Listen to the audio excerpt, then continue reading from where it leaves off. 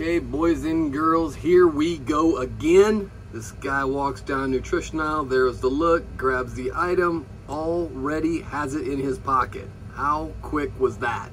This guy is no joke, man.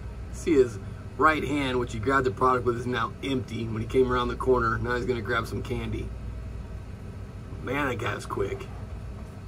Lucky we were paying attention.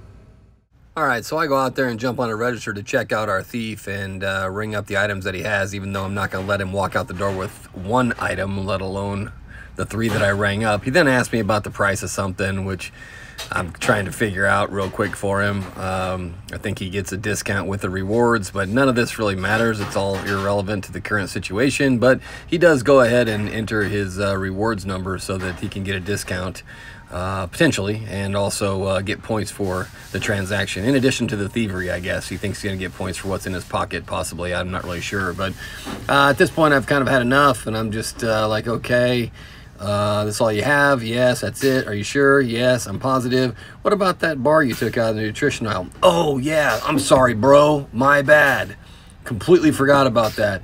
Sure, you did. Gather up the stuff, get out. You're a loser. You're a thief. Leave the store. Don't ever come back. Take your jean jacket with you. Just another day.